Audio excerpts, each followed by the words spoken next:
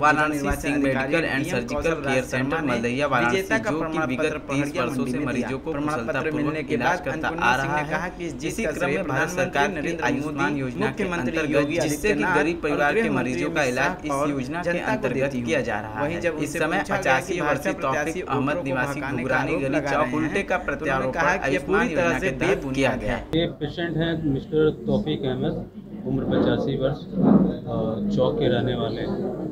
इनका दो वर्ष पूर्व कूला में फ्रैक्चर हो गया था। इनका एक ऑपरेशन हुआ था। लेकिन उस ऑपरेशन के बाद दर कुछ दिनों से उनको दर्द होने लगा। फिर उन्होंने हमें दिखाया। हमने उनको जो है कूला प्रत्यारोपण के लिए बताया। और इनका सिंह हॉस्पिटल में आयुष्मान योजना की तहत निःशुल्क खुला प्रत्यारोपण किया गया है। उसमें कुछ मुश्किलें थी। एक तो इनका उम्र जो है पचासी वर्ष थी इस उम्र को देखते हुए सारी जाँच कराकर तो अभी मरीज़ की उम्र 85 की है। तो हम मान के चलते हैं कि अपना जीवन काल इस पर निकालना है। उम्र 80 90 किसी भी उम्र में कर सकते हैं उम्र बाधा नहीं एक तो देखिए खुला प्रत्यारोपण पर एक कारण होता है फ्रैक्चर की वजह से चोट लगने की वजह से। उसके लिए अपने जो भी गाइडलाइन है एक्सीडेंट्स हैं, उनको मतलब उनसे बच के रहें किया सकता है। दूसरा, कुछ जो कूल्हे के रोग होते हैं, जैसे आर्थराइटिस है ऑस्टियोआर्थराइटिस है हिप की। ये बताने के लिए किया जा रहा है कि एक मरीज़ है, तौफीक अहमद, जो चौक क्षेत्र के रहने वाले हैं। उनको कूल्हे में परेशानी थी, एक ऑपरेशन हुआ भी था, उसके बाद भी उनको दर्द था। और कूल्हे का प्रत्यारोपण करना था।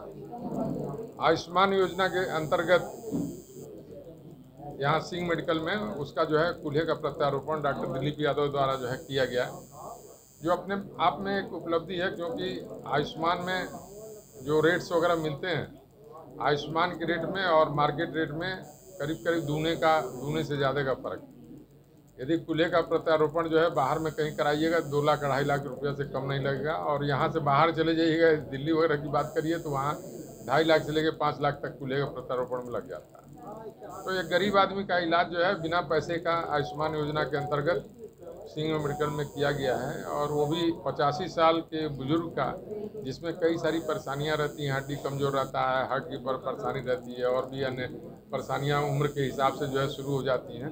तो सारा कुछ जाँच करके जो है किया गया ये अपने आप में एक बड़ी उपलब्धि है और बताया इसलिए प्रेस कॉन्फ्रेंस किया गया कि लोग जाने कि नहीं इस उम्र में भी कूल्हे का प्रत्यारोपण हो सकता है और आयुष्मान योजना के अंतर्गत भी खुले का प्रत्यारोपण नहीं नहीं आयुष्मान में आयुष्मान में जो पैकेज है उसी के अंतर्गत इसको किया जा रहा है। अपने तरफ़ से नहीं अपने तरफ़ से उसमें कुछ खर्चे आ जाते हैं जिसको हम लोग जो है बियर करते हैं कि करना है किसी को मदद करनी है तो उसमें कोशिश करते हैं हम लोग कि पैकेज के अंदर किस तरह से किया जा सके किया जा सकता है।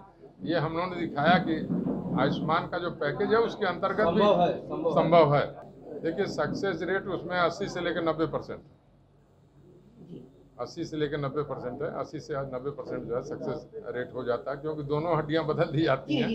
अंदर वाली भी और बाहर वाली। पेश है न्यूज़ बकेट हिंदी मासिक पत्रिका। पढ़े इस महीने की पूरी खबर विस्तार से हमारे न्यूज़ बकेट की मैगजीन में। हमारी ई मैगजीन को मुफ़्त में पढ़ने के लिए अभी लॉग इन करें www.newsbucket.in पर। इसके अलावा रोज की ताज़ा खबरों के लिए हमारे यूट्यूब चैनल को तुरंत सब्सक्राइब करें।